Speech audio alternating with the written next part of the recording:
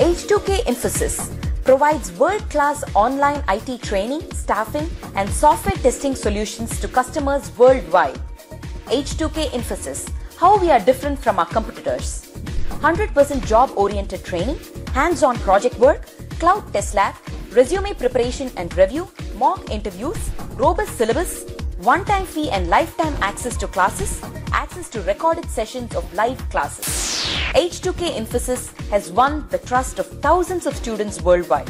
For a free demo class, visit us at h2kinfosys.com.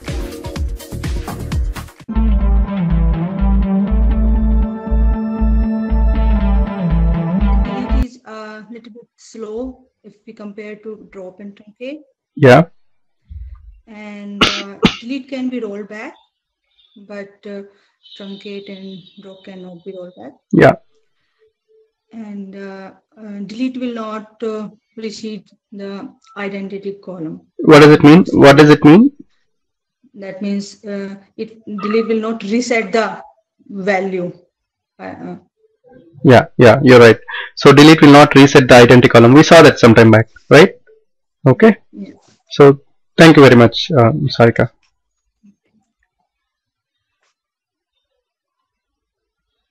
Okay. So with it, with this knowledge, we'll go back to the mm, go back to the state uh, this one, and we'll we'll proceed further. Okay. So now I'm going to create a table employee. So I'm going to create this table. So I'll create this table in my SQL Server.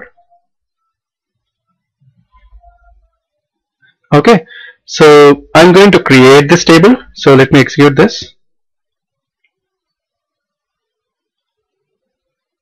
So it is telling I already have this table. So what I need to do here, I need to create drop the table. So drop table employee. I'm just deleting the table. Now I'll create the table again. So let me create the table employee. Now I created this table. So see here I have an identity column, I have a primary key, and I have first name, last name, and department. Salary I have which is salary greater than zero, and date of birth is having another data type called small date time. Okay.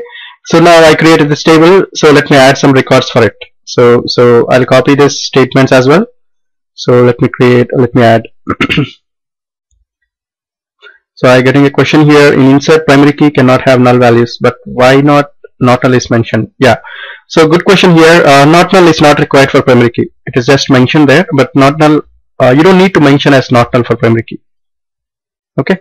So that's a good question here. We just mentioned as not null. So, but still you don't need to mention for, for a primary key because primary key by default is not null. Okay. So let me add some records for this table. So let me copy this. I'll be sending this to, I'll ask H2K team to send this PDF file for you so that you can practice it. So let me go back here, new query and then paste it here and then execute this.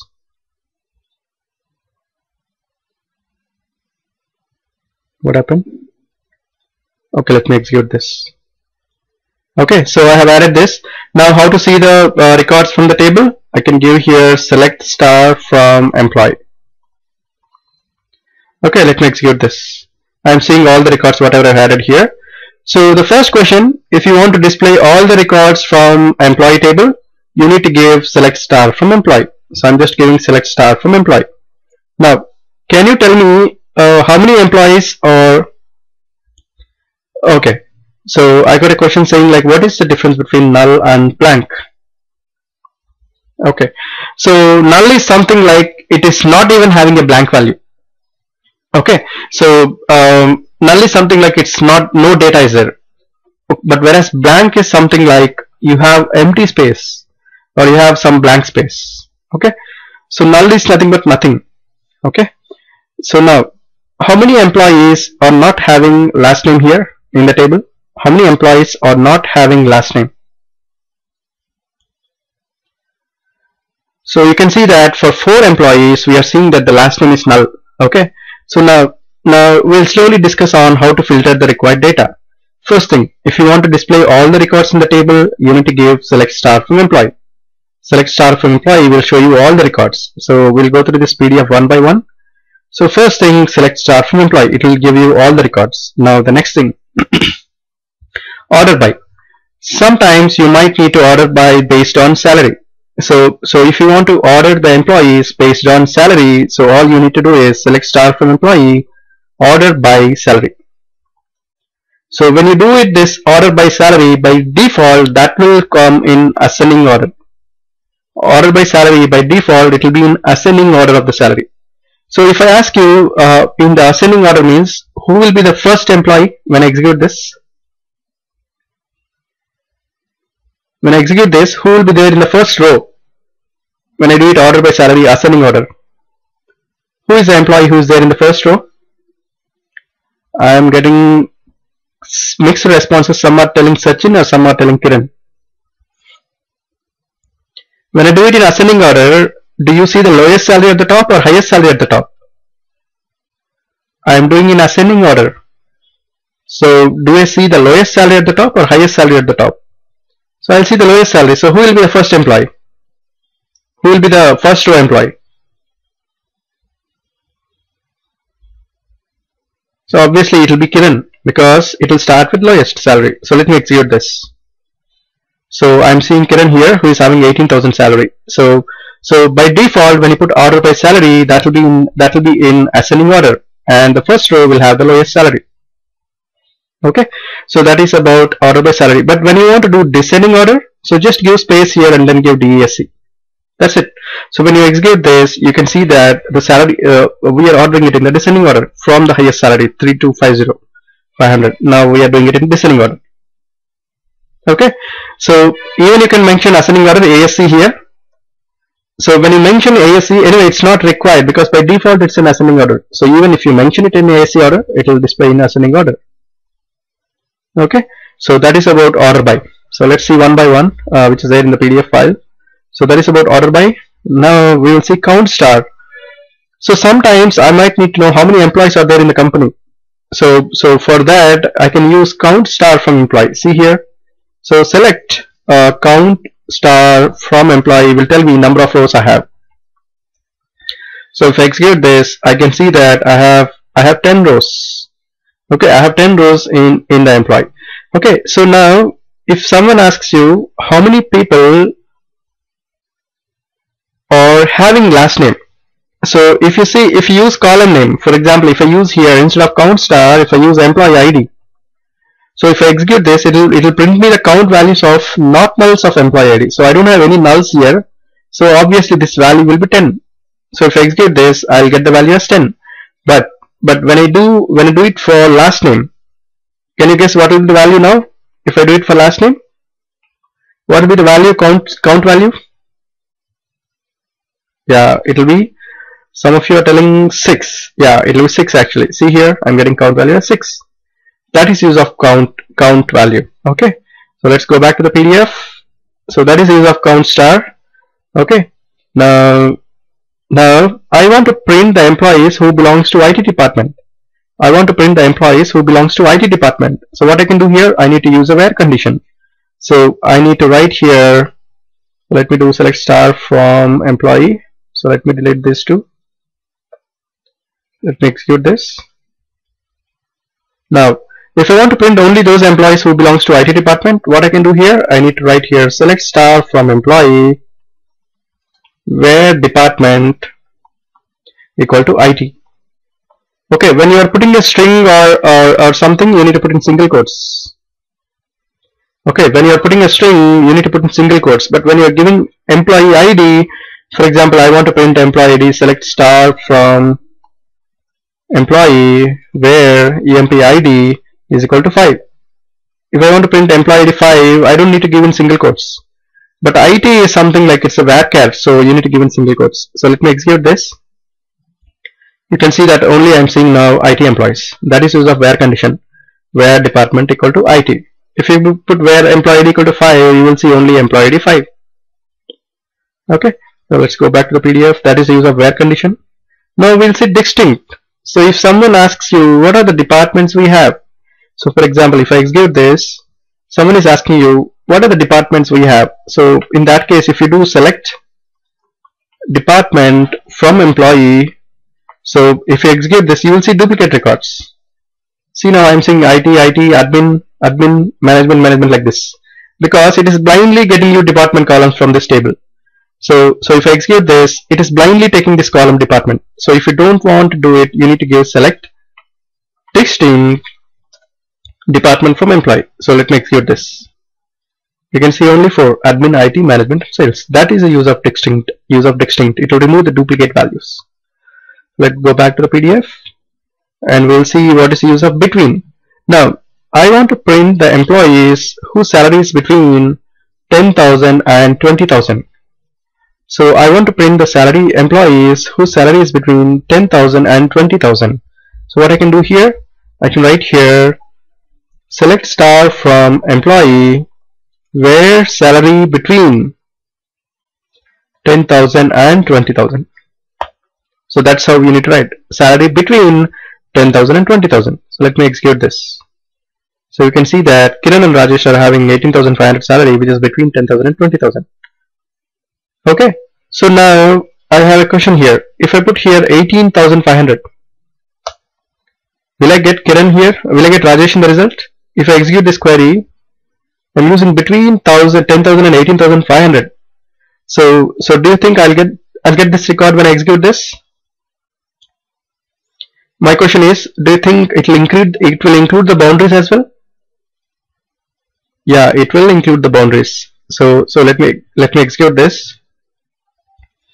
I'm seeing again the same records. So when you use between, it will include the boundary data as well. Okay. So let's go back to this PDF. Now what if, uh, okay, what if I want to print the employees who belongs to employees who belongs to IT department or who belongs to admin department. I need to print employees who belongs to any of these departments, IT and admin. So what I can do here is I can write here select star from employee where where department in I can use in condition in IT comma I can use here admin. This is one way to do this. I'm just giving select star from employee where department in IT or admin. So if I execute this I can see um, so there is spelling wrong here. Okay so let me execute this so I'm getting both the departments, IT department and admin departments. Or we can have another way also. So select star from employee where department department is equal to IT or department equal to admin. So this is also correct. So if I execute this, you will see the same output. I'm seeing the same. So in you can put any number of departments here okay department in you can put any number of departments here using the comma. Okay now let's go back to the PDF so this is about in and if you don't want to print the employees so for example if you don't want to print the employees who belongs to IT and admin you can use here not in. So when you use not in let me execute this. Let me execute this. I'm not printing I'm not seeing the IT and admin department so that is use of not in so not in IT or admin, it will not print the employees who belongs to this department. So I'm getting a question here. If I use a use if I use a statement and what to be used. What is the question, uh, Ravi? Uh, I want to use the R and also AND. So and the salary equal to 10,000 or 20,000. Yeah, you can use. Yeah, you can use. So OR condition is something like either of this will happen and you can use for example good question. So if I do select star from employee so I want to print the employees who belongs to IT or admin and who is getting the salary greater than greater than um, greater than 20,000 so what I can do here is and salary greater than 20,000 so if I execute this I can see the results. See now only those who belongs to admin admin none of none of admin employees are having more than 20000 so only these are the people who are having um, IT employees who are having salary greater than 20000 okay so if you see uh, let's verify whether any of the admin employees so let's put here 18000 So let's see who will get now. Let me execute this. Now I'm getting admin also. So I'm getting here 18,500 who is Rajesh who belongs to admin. So that is use of OR condition or AND condition. Okay. Now let's go back to this PDF. Now we saw in and not in. Now max or min. Okay. Now if I want to see the highest salary of if I want to print the highest salary of these all this manually if I search for I can see here 32,500 is the highest and which is getting by searching. So what I can do here is select I can put here max salary max salary from employee. So if I execute this I can see that 32,500 is the max salary. I can even put minimum salary. If I execute this I can see that 18,000 is the minimum salary okay and even we have average also so AVG so if I put average salary it will show you the average salary of all the employees which is 25,000 is the average salary 25,250 so that is use of uh, um, uh, sum I mean max average and and min values okay? So if you want to find uh, I think we have some here sum of salary. So if I execute this I can see the total sum of the salaries which is 25 2 lakhs 52,500 so you can use sum sum so these are all called aggregate functions. Sum max minimum uh, average these are called aggregate functions where the data is grouped together and finding uh, the value arriving at the value. Those are called aggregate functions. Okay? So let's go back to this.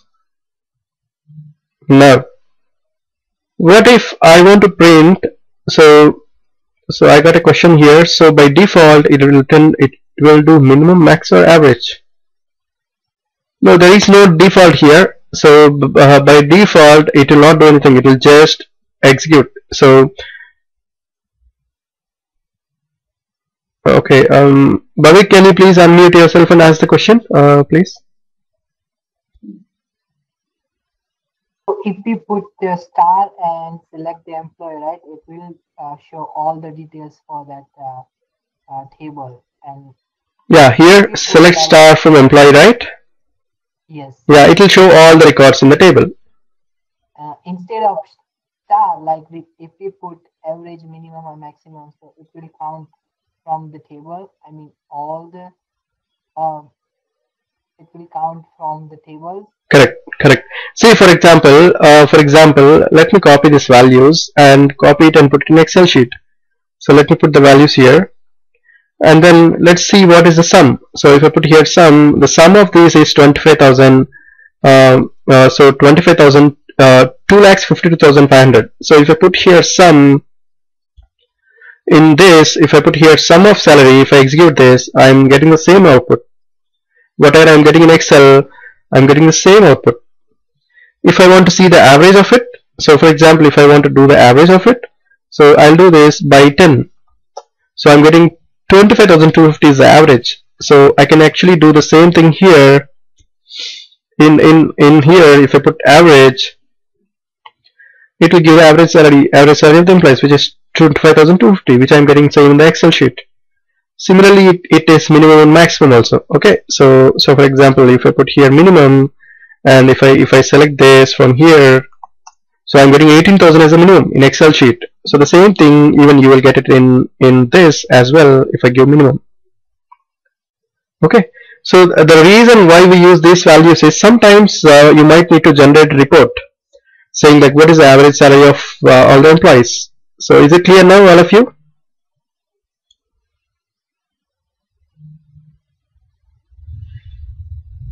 Okay. Okay. So now let's um, uh, let's get back to this um, PDF now now uh, I want to see who is getting the first three highest salary getters. I want to see the names of those employees who are getting who are getting highest salary. So if I want to see uh, uh, highest salary at the top we need to do order by salary descending. So order by salary descending. So if I execute this, I'll see that I'm seeing highest salary Sachin, next highest is Shankar, next highest is Ravi. Now, if I want to do it, um, if I want to see only the first three highest salary employees, I need to give top three star. So I just need to give here top three star. That's all. When I give top three, it will only take three rows of this table result. So if I execute this, I can see that only these three are getting top three. If I put here top five, it will record it will return me five rows of the table. So if I execute this, I can see that five rows are there. That is the use of top uh, top n. Okay. So now let's go back to this PDF. Uh, we saw about top three star or whatever. So now is null or is not null. Okay, this is a good thing. So is null or is not null. A lot of times I see students are uh, getting confused with. See, when you want to print, um, see for example, I want to print the a person whose employee ID is one. So I need to give like this select star from employee. Now I need to give like this select star from employee where emp id is equal to 5 say for example I want to print I will give equal to 5 so if I execute this I will see that employee id 5 Shankar so now if I want to print those who don't have last name so if I want to print the employees who don't have last name so what I need to give here or so I need to give select star from employee where last name I should not give equal to null this is wrong so a lot of times I see students asking me question like I gave not null, I'm not seeing any records. But I have four null values. So people used to ask me, so I have four null values, but when I give equal to null, I'm not seeing the results. So remember, when you are equating to a number or a string, you can give equal to. But when you are checking for null value, you should not use equal to. You should use is null. Okay. So when you want to check with null value, for sure you have to check using is null or is not null. You should not check with equal to. I repeat again. Uh, I, I even I get mails from students. I'm not. This query is not working fine for me. So so make a note here. You, you need to use for checking null. It is is null. So if I execute this, I'm getting here. So these are the employees who don't have last name. So I need to give is null. So if I want to print the employees who are having last name, so I need to give is not null so if I execute this I can see that the employees whose last name is not null okay so keep in mind uh, for checking null values okay so let's go back to the PDF we have something called like okay so like is something like for example I want to print the employees whose name starts with A uh, let's take uh, B whose name starts with B. So we have Bharat and we have Badri. So these are the two names which are starting with B. So for that we need to use select star from employee where name like you need to give B percentile. So percentile indicates more than one character. So when you give like B percentile, if you execute this, you can see that um, what is this here? So we don't have name column. What is the column name? first name so we need to give here first name so and you need to give like b percentile so let me execute this I'm saying Bharat and Badri okay. So sometimes you might get a requirement saying like for example I want to print the employees whose name whose name contains character K. So in that case I need to put percentage both the sides and I need to put here K. Because it is not starting with K. They're just checking contains k. It can be beginning it can be middle it can be end as well. So for that reason you need to give percentile k percentile. If they tell like starting with k you need to put k percentile so if the tell like contains k you just need to put uh, k in the middle somewhere so let me execute this you can see that Kiran, Shankar, Rakesh and Kalyan have k letter in their name that is the use of using like keyword okay so now so uh, whose names contains AR. So if they tell like AR, you need to give percent AR percent. Okay. So this is about uh, yeah. This I'm leaving it to you. You have to check what is this cap symbol or what is this underline. It's very straightforward.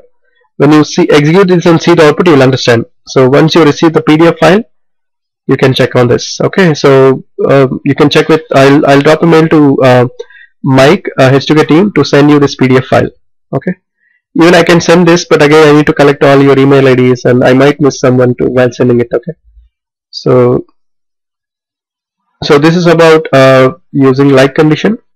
And uh, these are all okay. We have something called group by. Okay so for example I want to print the uh, uh, let me let me do. So I want to print average salary department wise. So for example if I if I if I print here average salary and if I if I remove this if I execute this I'm saying oh, average salary of the total table. Sometimes you might need uh, you might need to compare different departments. You might need to compare departments and see which department is getting maximum salary or which department is having good average salary. So in that case, you need to use group by.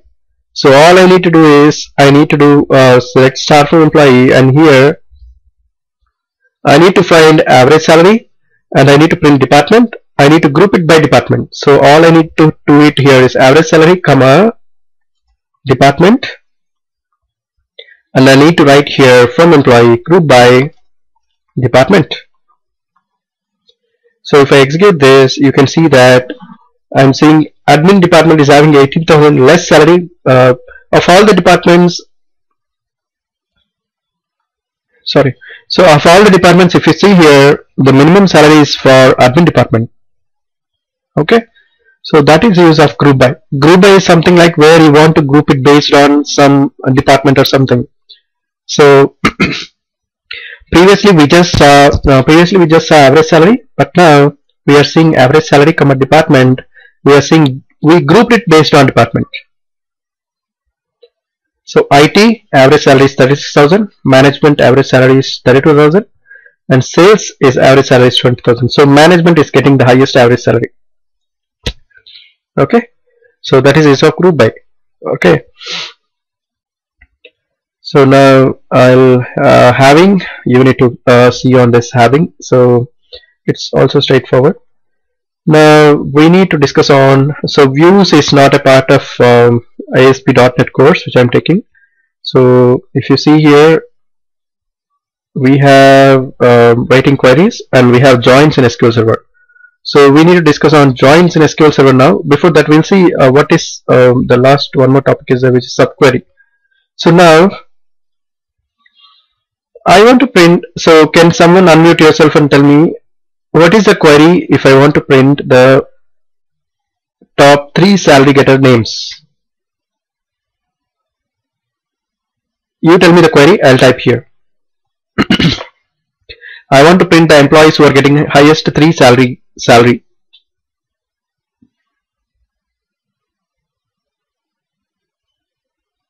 Yeah anyone wants yeah go ahead please. Uh, select a top three star from perfect. Top three star from employee. Employee. Order by uh, uh, salary. Order by salary.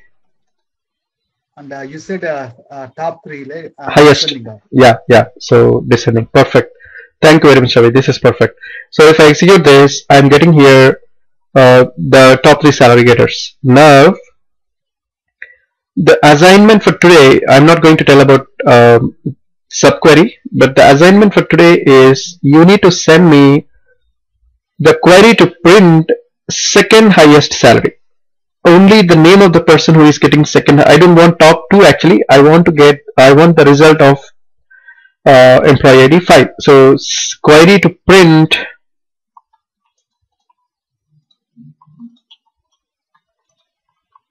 So I'm not going to tell now about subquery. Yeah, you have to go do some research and then the question to you is the query to print second highest salary. So I'll be giving this create table scripts for you now. So so anyway, don't worry, I'll be giving the script for you. So how to create the table. So this is the create table scripts. I'm just bringing you in the chat window. Please copy this. Okay all of you got the create table scripts and I'm also giving you the insert table scripts. So now what you need to try uh, what you need to try for today is how to get the second highest salary to print. Okay? So I'm not going to tell this. You have to tell me someone has to uh, tell me in the next class. Okay? Now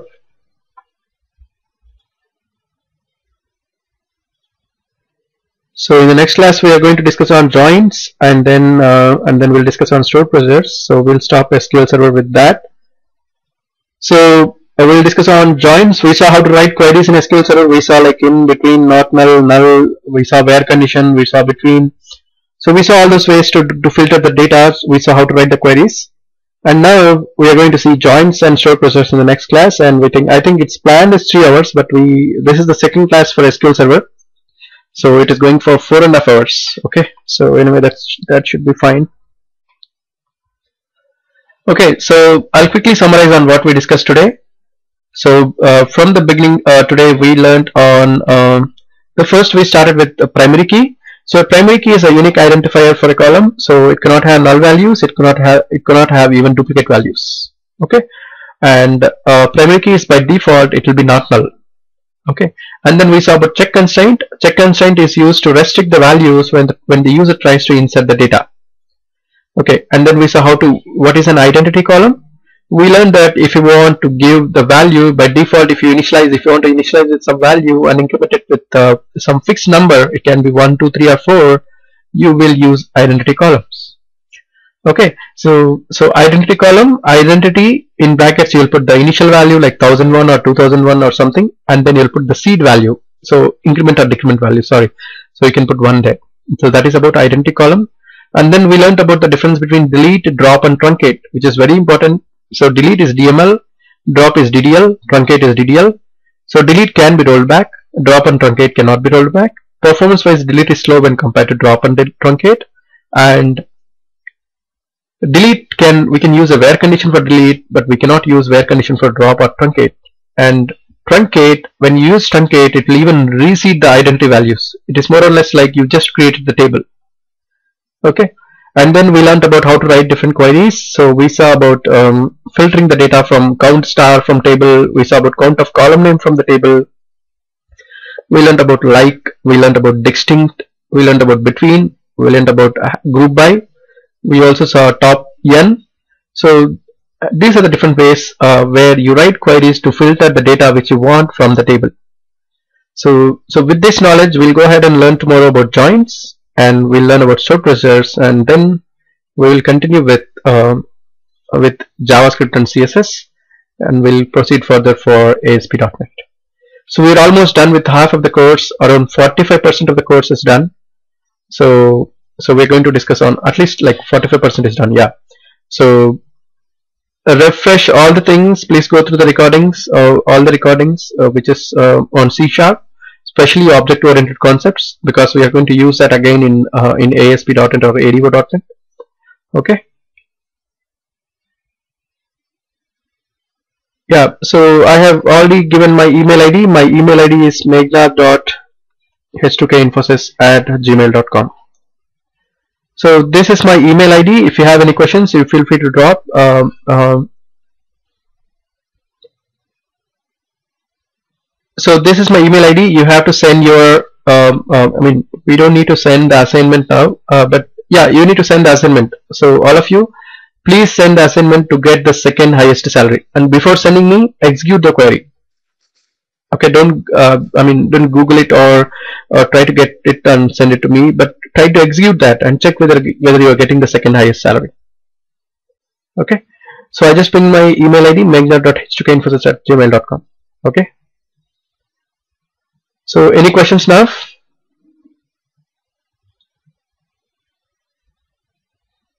Okay. So if you don't have any questions we'll stop here. Thank you very much. Uh, good night. We'll join in the next class okay. Bye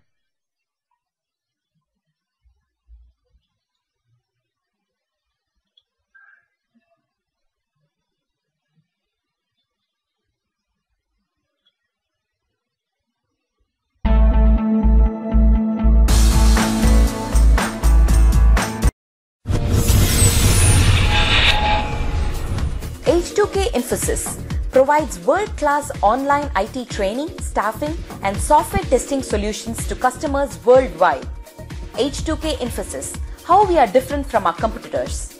100% job-oriented training, hands-on project work, cloud test lab, resume preparation and review, mock interviews, robust syllabus, one-time fee and lifetime access to classes, access to recorded sessions of live classes.